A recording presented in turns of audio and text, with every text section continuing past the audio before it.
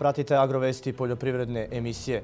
Prema procenama srpskih naučnika proizvodnja jagoda u narednim godinama mogla bi da bude veća izvozna šansa nego što je proizvodnja malina, jer je zahvaljujući sortama jagoda iz Srbije vrlo kvalitetna. Ta vrlo profitabilna i atraktivna kultura kod nas može se gajiti i na otvorenom i u plastenicima. U savremenoj proizvodnji jagoda bitno je da se prate najnovije tehnologije gajenja, da se odabere prava sorta, osluškuje tržište i da su startu proizvođači opredele da li će plasman biti na domaćem ili inostranom tržištu, kaže profesor dr. Evica Mratinić sa Poljoprivrednog fakulteta u Zemunu. Površine pod šećernom repom u predstojećoj setvi biće smanjene. Prema procenama očekuje se da će biti ugovoreno i zasejano do 55.000 hektara, što je znatno umanjenje u odnosu na prošlogodišnjih 70.000 hektara pod slatkim korenom.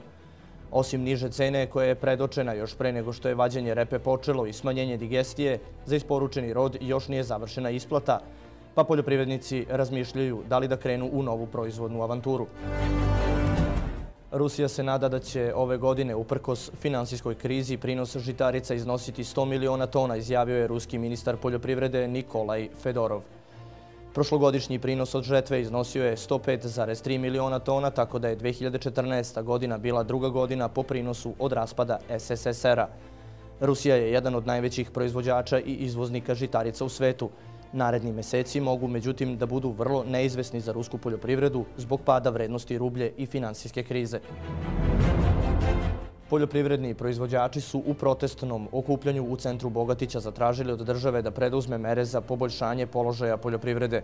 Poljoprivrednik Zoran Jurišić, koji je organizovao skup, poručio je, zahvaljujući lokalnoj samoupravi na podršci, da poljoprivrednici neće kao nekada blokirati puteve i mostove, nego će svoje ciljeve ostvariti u institucijama organizovani u sobstveni sindikat. U selima Mačvanskog okruga cena žive mere tovljenika je praktično preko noći skočila na 140 dinara za kilogram. Najavljena mera zaštite domaćih svinjara, kojom bi se za uvezene svinje plaćala carina od 30%, a koja bi se mogla primjenjivati polovinom marta, dobro bi došla za oporavak svih onih koji se bave uzgojom svinja. Pratili ste Agrovesti poljoprivredne emisije. Moje ime je Bogdan Dumanović.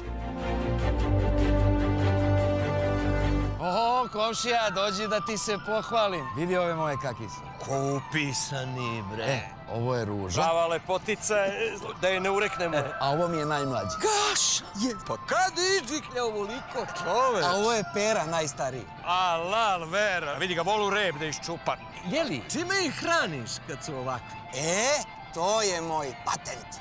Dođi mi pomoći Увек на страни, руке која храни. Високо квалитетна, сточна храна. Патент ко? Квалитет е тоа.